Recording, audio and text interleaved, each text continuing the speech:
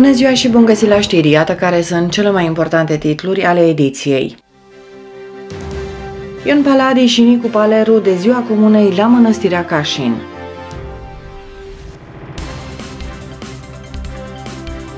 Adriana Trandafir va juca la Onești și la Târgu Ocna.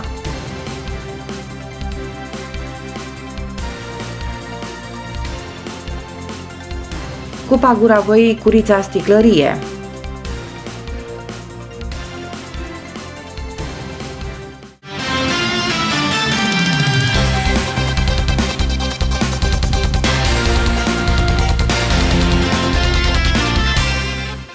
Proiectul social Bucuria Copilăriei pe litoral. Ajutați-ne să ducem 35 de copii la mare. Aceștia sunt fie foarte săraci, fie cerșători, fie chiar din centre rezidențiale. Apelul este făcut de către Asociația Patmos din Onești, dar și de către protopopul de Onești, preot Ioan Bârgăoanu. A venit vacanța de vară mult așteptată de copii, iar protopopiatul Onești a pregătit o surpriză. Da, este o bucurie din nou pentru copii, zicem noi. Dintr-o bucurie mică vrem să facem o bucurie mare. Pe litoral dorim să ducem 35 de copii. Bucuria unui copil uh, pe litoral este extrem de importantă, mai ales dacă uh, am putea să ducem acolo uh, copii orfani, copii cu probleme, cu copii care nu au văzut marea și lucrul acesta ar însemna, concret să fim și practici, cei care doresc să ajute un copil orfan, un copil care nu a, ajutat, nu a ajuns niciodată la mare, le oferim toate condițiile să doneze în contul uh, Asociației Patmos 600 de lei, asta însemnând o săptămână, îi vom duce într-un loc frumos, vor fi însoțiți de un preot și copiii care sunt în jurul protopopiatului, un număr de 35 de copii ne propunem să îi ducem uh, în modul acesta la mare. Uh, deși 600 de lei pentru unii poate însemna o sumă de bani, uh, bucuria pe care o simte un copil care n-a văzut niciodată marea nu poate fi cuantificată nici în bani și nici în cuvinte. Cu siguranță este o sumă destul de mărișoară pentru unii, mică pentru alții, dar dacă sunt două sau trei familii care pot să facă acest, această faptă bună, este binevenită. Noi ne-am propune să ducem mai mulți copii, dar deocamdată ne, ne rezumăm la acest aspect. Este o întreagă strategie din partea noastră.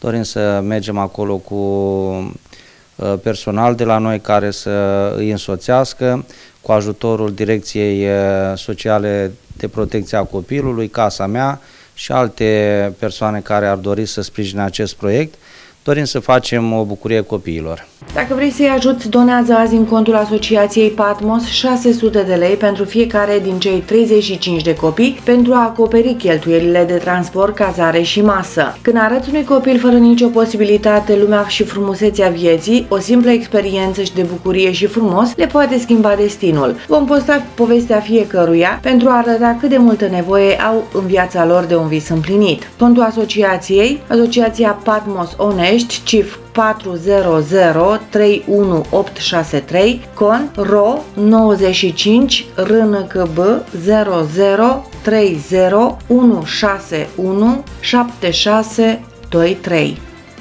mai sunt câteva zile până când se va da startul la distracție în comuna Mănăstirea Cașin. Pentru prima dată în istoria localității, administrația publică locală, prin actuala echipă, primar Adriana Enache și viceprimar Gelu Nicolae Zgăvârdici, împreună cu cei din Consiliul Local, au decis realizarea primei ediții a manifestării generic intitulată Ziua Comunei Mănăstirea Cașin. Mai multe despre eveniment aflăm în minutele următoare de la primarul Comunei Mănăstirea Cașin, Adriana Enache. Pentru prima dată în istoria localității se organizează zilele comunei. Timp de trei zile va fi o sărbătoare și o petrecere în aer liber a tuturor uh, locuitorilor comunei, dar și a celor din afară. Da, vă mulțumim pentru prezența dumneavoastră și pe această cale profităm de faptul că invităm atât cetățenii comunei, cât și alți cetățeni din jurul comunei noastre să fie alături de noi în aceste trei zile. Începem în felul următor. Pe 1 iulie, la orele 16, avem în Căminul Cultural un simpozion prin care se va intitula și care se intitulează Pe un picior de plai, pe o gură de rai, Mănăstirea Cașin, vatra a istoriei și a spiritualității. Iar pe data de 2 iulie, începem la ora 12 cu o paradă a Portului Popular, de la Căminul Cultural până la primărie.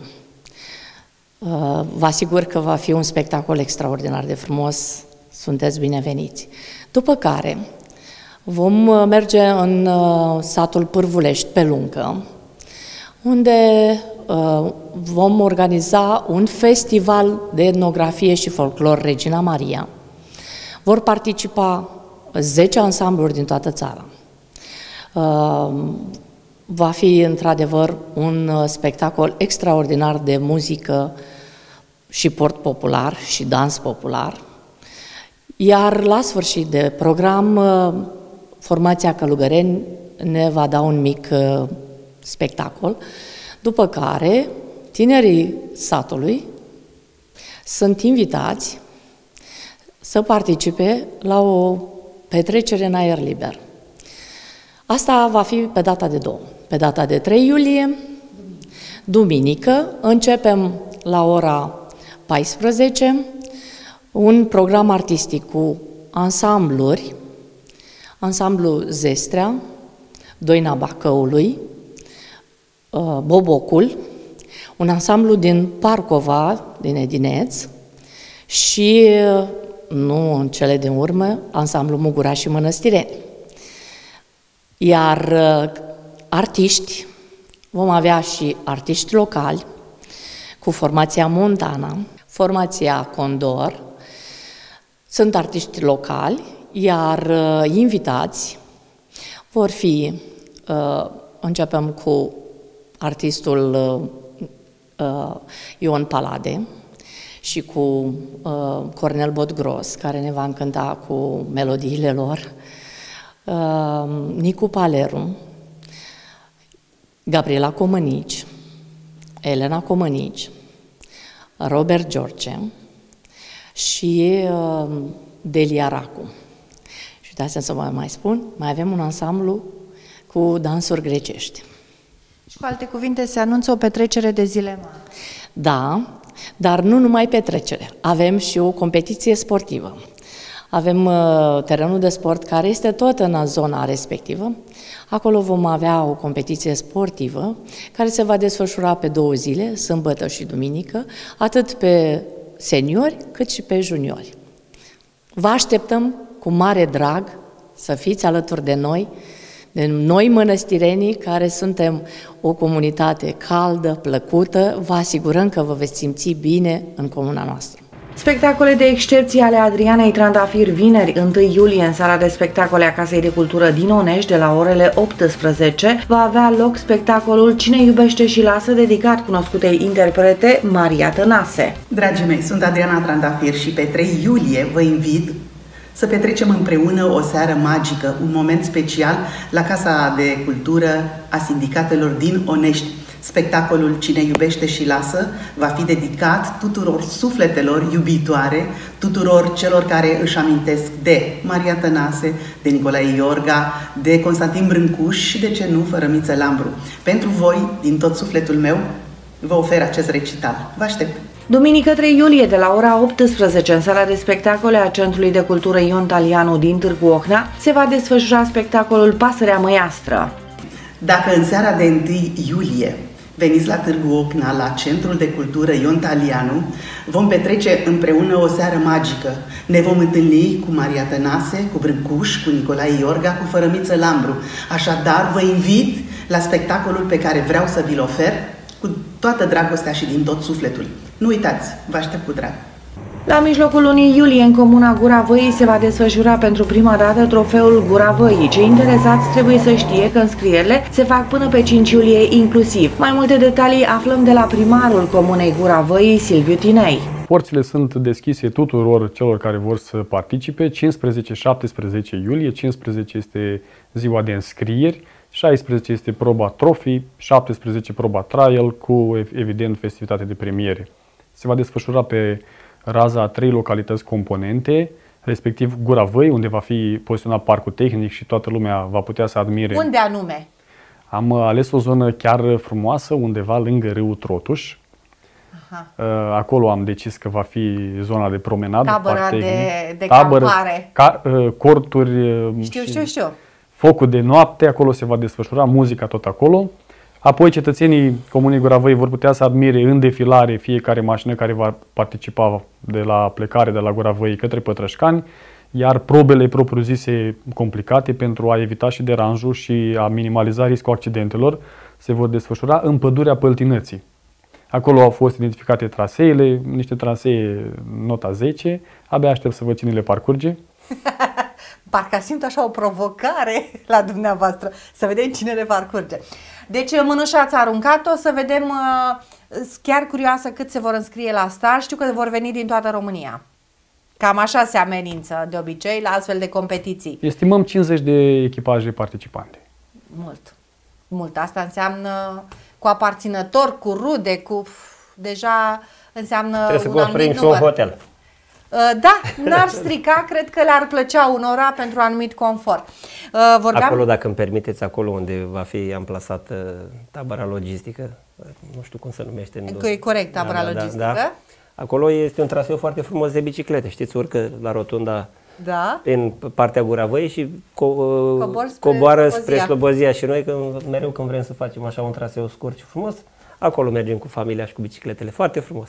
De la premiilor Băgăoane, peste 230 de reprezentanți ai societății civile locale și ai mediului de afaceri au participat la cea de-a 19-a ediție a Galei Premiilor Comunității Băcăoane. Fundația de Sprijin Comunitar Bacău a împlinit 25 de ani de la înființare, ocazie cu care a desfășurat cea de-a 19-a ediție a Galei Premiilor Comunității Băcăoane. Gala este cel mai important și mai longeviv eveniment local local de responsabilitate socială și caritabilă, participanții putând pune umărul la continuarea programelor sociale oferite de Fundația de Sprijin Comunitar Bacău unui număr de peste 200 de copii și tineri, respectiv 900 de bătrâni din zonele sărace, rurale ale județului Bacău. Suntem la gala premiilor comunității Băcăoane, un eveniment știut așa un pic de comunitate, dar lăsat un pic pe planul 2 din cauza restricțiilor care au fost. Suntem la ceas aniversar, într-adevăr 25 de activitate, de aceea am și zis uh, gala Forever Young.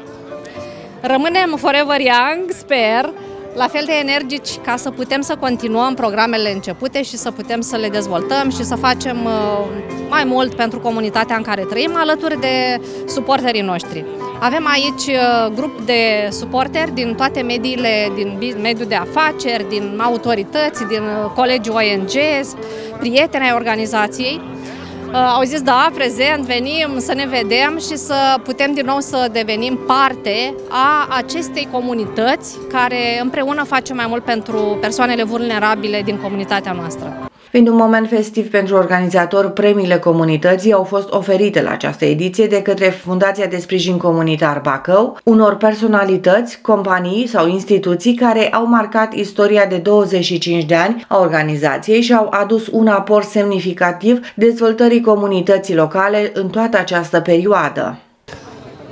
Pentru mine, ca și băcăoan, FSC e un mod de viață. Deja după 25 de ani, cred că fiecare băcăuan cunoaște această fundație care a făcut și face foarte mult bine băcăuanilor, care a reușit să ne adune pe toți, indiferent de gândire, de mentalitate și de ocupație, a făcut în așa fel încât să, ca Bacău să fie unit și pentru acest lucru le urez uh, mult succes, multă sănătate și nu trebuie să le urez multă implicare pentru că o fac și o fac bine. Ne bucuram împreună cu colegii de la FSC că au ajuns la 25 de ani de activitate în comunitatea Bacoan. Au făcut o treabă foarte importantă, mai ales în comunele în județul Bacău, unde au avut grijă de foarte mulți bătrâni. Până la urmă asta e scopul lor principal și alte activități care alte organizații nu a preluat și pentru asta tot estimăm. 25 de ani de FSC înseamnă 25 de ani de bine pentru comunitate, înseamnă mii de copii ajutați, mii de bătrâni sprijiniți, înseamnă sute de profesioniști și voluntari implicați pentru a face bine. Pentru mine FSC înseamnă o călătorie frumoasă în care am crescut alături de o echipă minunată. Ați urcat pe scara ierarhică, să spun așa, către DGASPC. Acolo cum e? La DGASPC facem bine, într-un alt fel de mod, mai instituțional, mai procedurat, dar uh, suntem alături de ONG-urile din uh, Bacău și împreună construim parteneriate pentru a putea să ajutăm copiii, persoanele cu dizabilități, comunitățile în general din județul Bacău. Să înțelegem că FSC a făcut numai treabă bună. Da, FSC este binele la excelență. Uh, pentru mine și pentru comunitatea băcoană înseamnă 25 de ani în care această organizație a mobilizat uh, importante resurse umane de voluntari și a venit în sprijinul uh, băcoanelor cu cele mai profunde nevoi. Deseori suplinind ceea ce autoritatea locală sau județeană nu putea să rezolve. Este o mare bucurie că avem o astfel de organizație recunoscută în top național pentru contribuția pe care o are și le urez la încă 25 de ani la fel de prolifici în slujba băcăoanilor. Scopul principal al galei este strângerea de fonduri pentru continuarea proiectelor sociale ale FSC. Evenimentul a generat încasări totale din sponsorizări și donații în valoare de aproximativ 46.500 de euro, din care 28.000 din contractele de sponsorizare pre-eveniment, iar 18.500 au fost strânși în cadrul serii din vânzarea biletelor la tombolă, licitații și donații individuale pe caietele de donații pentru diferitele proiecte ale FSC.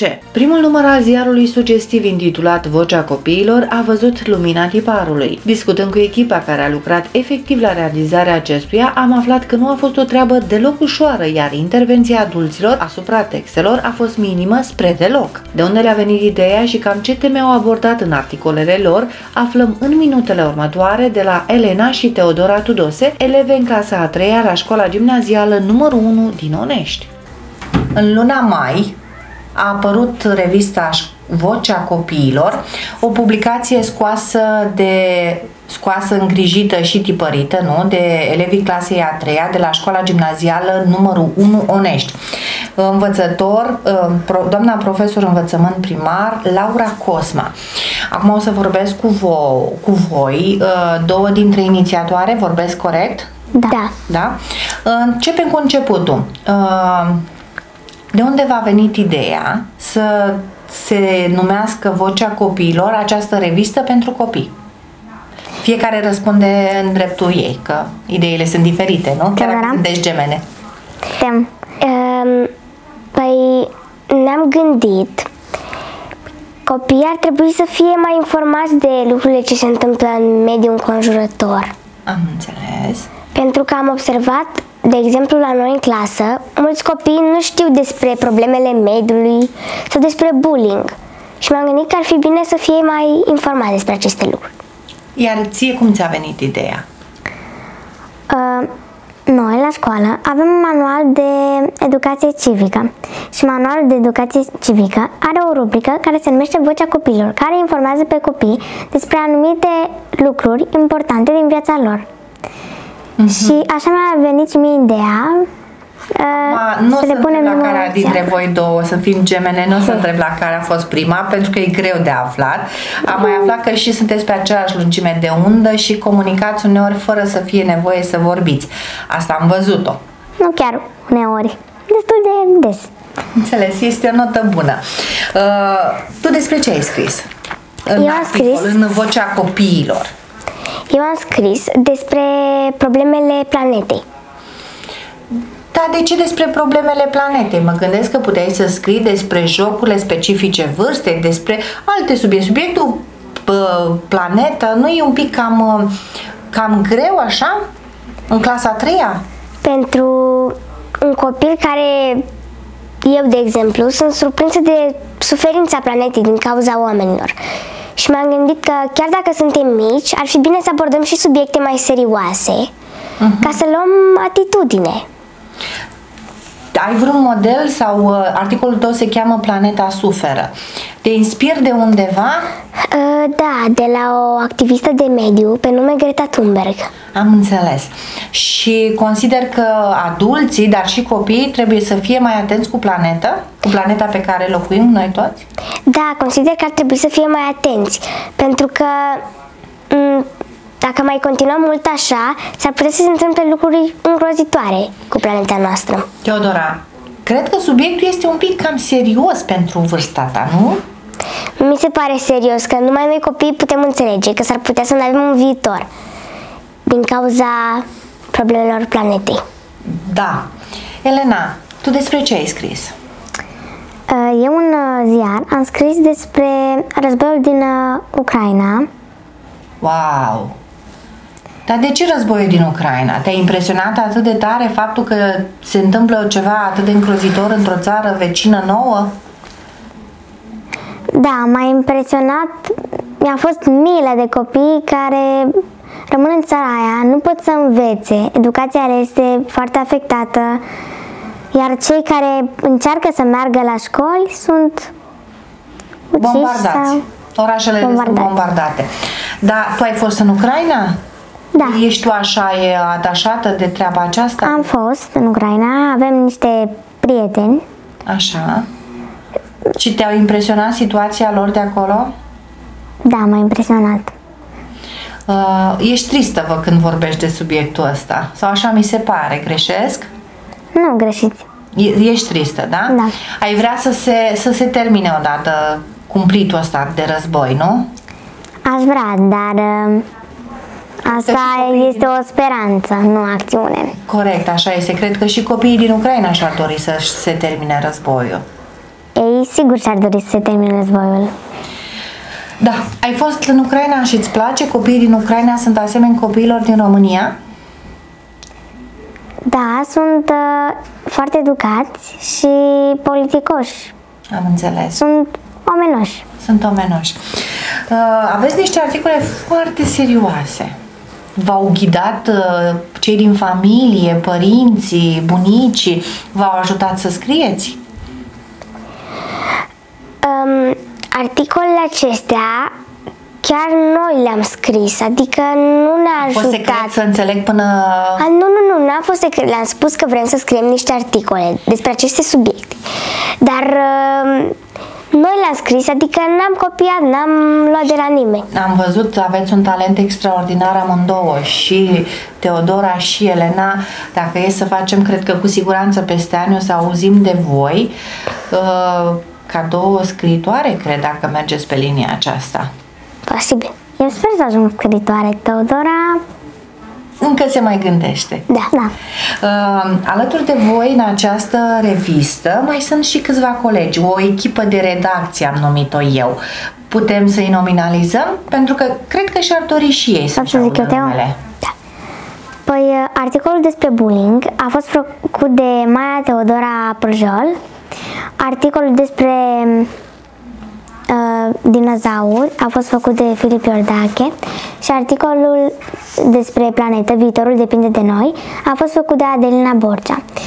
Desenele au fost făcute de Justina Petrei și Camelia Todiresei.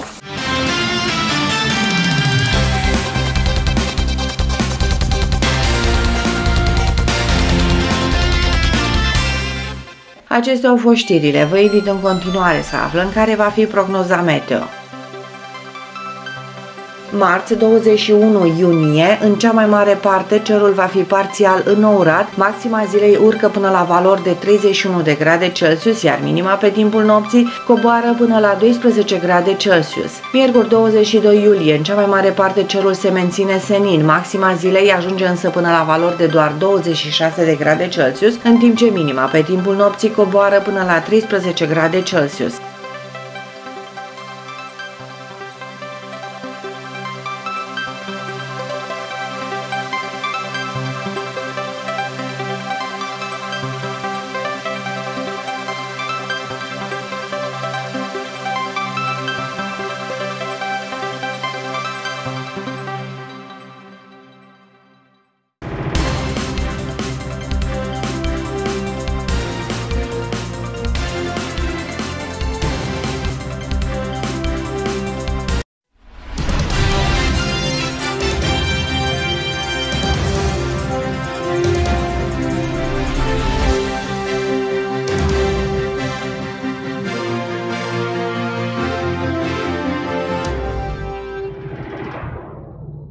Acestea au fost știrile. Nu uitați, mai multe informații puteți afla acces în site-ul www.acum-tv.ro și ne puteți aprecia cu un like pagina de Facebook Acum TV Kid.